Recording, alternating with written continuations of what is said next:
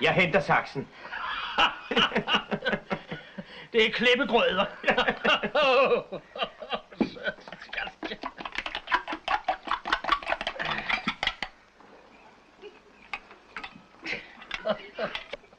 Vi tager kernmølsuppe.